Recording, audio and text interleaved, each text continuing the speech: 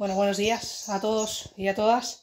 Queríamos contaros desde Cenicientos eh, cómo está la situación y qué medidas están adoptando desde el ayuntamiento para poder afrontar esta crisis, esta pandemia que nos ha pillado a todos por sorpresa y que está causando mucho dolor y muchos estragos. Y bueno, nosotros afortunadamente somos un pueblo pequeñito, un pueblo tranquilo, donde prácticamente desde el segundo o tercer día hemos podido afrontar las necesidades de los más mayores, que era lo que más nos preocupaba. Tenemos unos grandes voluntarios a través de Protección Civil, de las propias trabajadoras de ayuda a domicilio del Ayuntamiento de Cenicientos, que están echando una mano y atendiendo todas las necesidades que tienen los mayores para que no se hagan a la compra, para que no se hagan a por su medicación y que se mantengan seguros en sus domicilios. Y por supuesto también, pues evidentemente los trabajadores municipales que en la sombra, aunque no les veis porque no, no podéis salir, están limpiando, realizando labores de desinfección, procurando que la basura y los residuos se sigan recogiendo con normalidad y que no haya una acumulación y un peligro añadido y por supuesto también, pues evidentemente tenemos el apoyo de nuestra Guardia Civil, de nuestro puesto de la Guardia Civil de Cenicientos,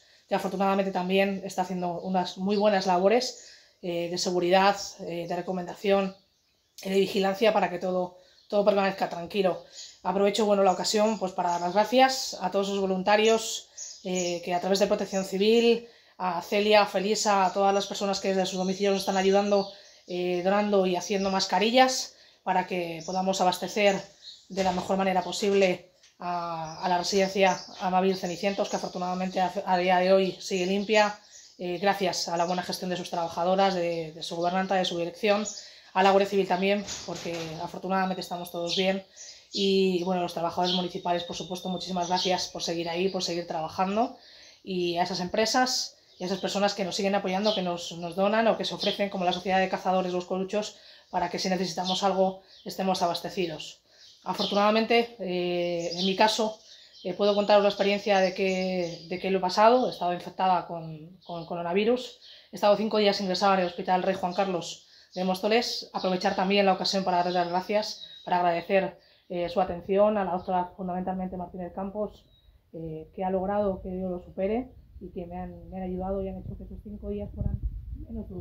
Así que muchísimo ánimo, muchísimas gracias a todos, a todos los compañeros, a todas las personas que, que están pendientes también estos días de las labores de sus ayuntamientos, que seguimos aquí,